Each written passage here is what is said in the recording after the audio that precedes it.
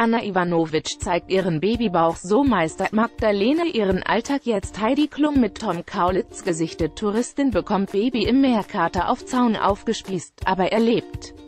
Ein Tweet hilft dem Kleinen. Keitzler-Welpe erstickt auf United Airlines, Flugzwillinge?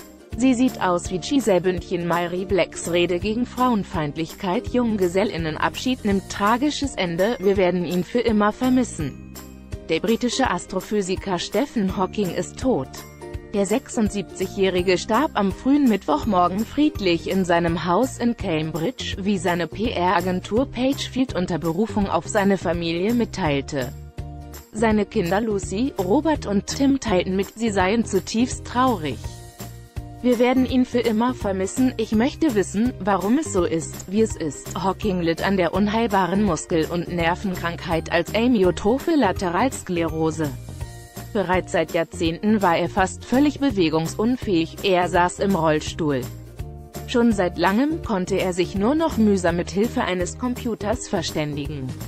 Zuletzt nahmen seine Kräfte immer mehr ab. Er gehört zu den größten Wissenschaftlern aller Zeiten. Die Fachwelt schätzte Hawking wegen seiner Theorien zum Ursprung des Kosmos und zu schwarzen Löchern. Ich möchte das Universum ganz und gar verstehen, sagte er einmal.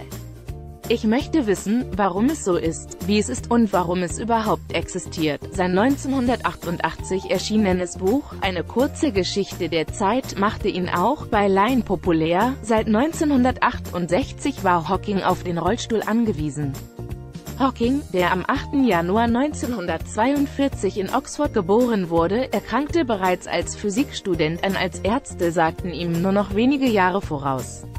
Seit 1968 war Hawking auf den Rollstuhl angewiesen. Doch die Krankheit schritt bei ihm sehr langsam voran und konnte seinen Aufstieg in der Wissenschaft nicht aufhalten. 1979 wurde er Professor für Mathematik in Cambridge. Über 30 Jahre lang hatte er dort den renommierten Lucasischen Lehrstuhl für Mathematik inne und stand damit in der Nachfolge von Isaac Newton. Das Privatleben kam trotz seiner Karriere nicht zu kurz. Hawking war zweimal verheiratet und hatte drei Kinder. 30 Jahre lang war er mit seiner Jugendliebe verheiratet, doch die Ehe scheiterte, später bezeichnete sie ihn als einen Haustyrannen. 1995 heiratete Hawking seine Pflegerin, die Verbindung dauerte elf Jahre, Popstar der Wissenschaft Trotz Gesundheitsproblemen lief das Gehirn des Genies stets auf Hochtouren.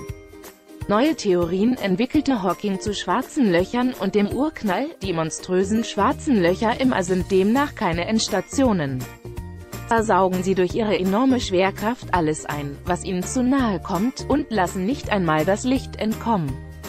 Hawking konnte aber in der Theorie zeigen, dass schwarze Löcher langsam verdampfen, eine Folge der Quantenphysik. Das Verdampfen dauert extrem lange. Die dabei entstehende Hawking-Strahlung ließ sich daher bisher nirgends nachweisen.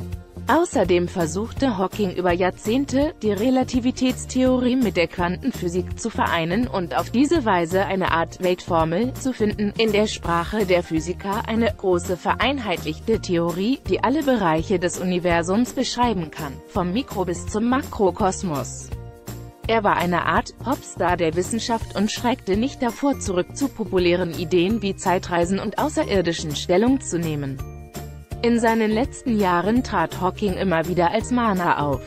Intelligente Roboter, Klimaerwärmung, Atomkrieg und durch Gentechnik hergestellte Viren könnten die Erde gefährden, warnte er.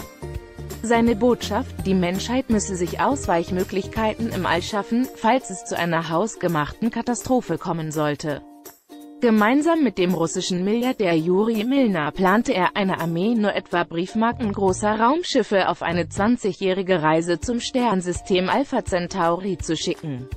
Hawking war überzeugt, früher oder später müssen wir zu den Sternen schauen.